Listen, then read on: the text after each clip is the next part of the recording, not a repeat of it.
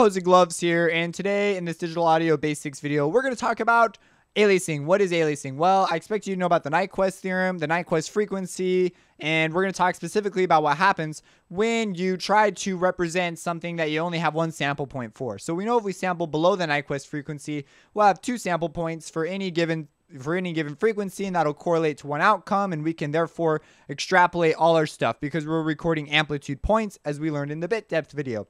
So what about the deal of something when we try to record over half over the Nyquist frequency? We only have one value. Well, what happens is because our signal is band limited, those values will be reintroduced back into our signal in a very predictable way. So we know that if like say we want to record 24 um, kilohertz in our 44.1 system. Well, it's not going to work out for our benefit. Instead, we're going to run into some serious problems. And what we need to do is well, what you what you need to do is you need to filter those frequencies out. The reason is they will alias back in, is in because there's not enough sample points to re-represent it, it'll be put back in our signal, and those sample points will be much further apart, and as a result, you'll get a lower tone, a tone that did not even closely represent your original tone. So let's come over here to this great picture that seems to just make everything easier. So here we have a signal. It's got enough sample points, and as a result, it can adequately represent our signal. It represents the correct frequency, and we can, you know, get our, our stuff from it. Uh, now over here, we do not have enough sample. They don't show you all the sample points here, so but in this system, they do not, they're sampling a frequency that's too high. And as a result, it gets reintroduced in these samples the because we only have one sample for that high frequency and it aliases back in and those samples get put in there and the only possible result for those samples in those positions would represent a frequency like this now this this is not you'll never see this on an oscilloscope or on a spectrogram because it'll just be shown as a frequency in your spectrum it's something that you have to know is there and because this would be, you know, added to this frequency on an oscilloscope and you would see them both. So they've separated this frequency out in the picture to help us understand. So this signal will get lower information will actually come in, lower harmonics. It's kind of ironic. So when our frequencies are above the Nyquist limit and we've allowed them to get back into our signal, they will be interpolated into the only possible outcome they can be. And as a result, you'll get harmonic distortion, this is something that is not desirable and you generally it, you generally filter these frequencies out after. So i guess we'll talk about uh, anti-aliasing too. So let's talk about anti-aliasing filters real quick. So what happens when you record something? Well you need to filter out the higher stuff so that you don't get this problem where you have things getting aliased back into your spectrum and what you do is you just put in a filter and this filter just simply removes all that content and as it does that uh, you can sample your signal accurately and you won't get any of this aliasing stuff. It's called an anti-aliasing filter. It's a pretty simple idea. Now, this is where higher sample rates may make a difference.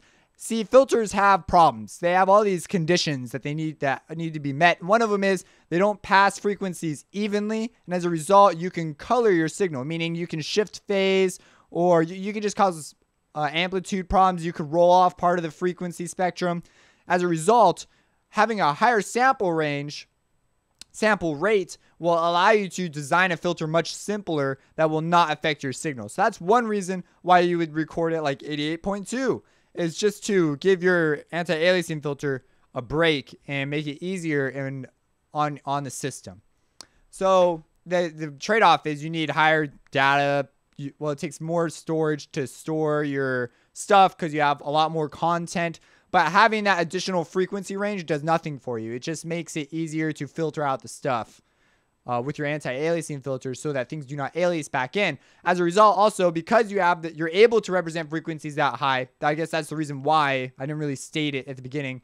But you're able to represent frequencies that are much higher now because you have a much higher sample rate. And so you can filter those out with a gentler slope. So a filter will use a slope per octave. And as it rolls off and attenuates frequencies, it will it will ideally it'll just turn the frequencies down so that they don't do anything we don't sample them.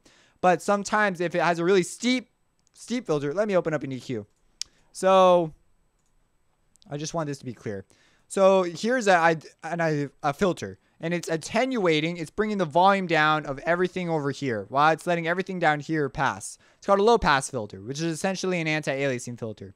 The problem with this uh, this thing here is we have this thing right here called the transition band. What the transition band does is it is the slope. So if we have a really steep slope like this, we will not only in some cases you'll end up boosting at one end of the spectrum, and that's not desirable, but you'll also experience a phase shift like I was talking about earlier. And so to to fix this, a much gentler slope will allow us to keep our phase shift as not an issue. So it becomes much easier to design a filter with those things in mind.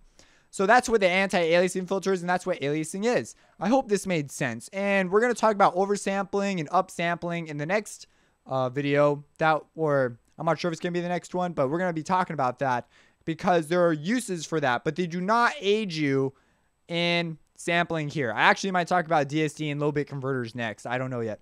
So if you have any questions, let me know. Subscribe and have a blessed day.